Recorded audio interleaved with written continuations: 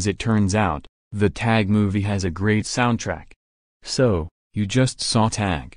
Once you stop reminiscing about tackling your friends back in the day, you can really start to appreciate to the music in film, and how the soundtrack brings the story to life.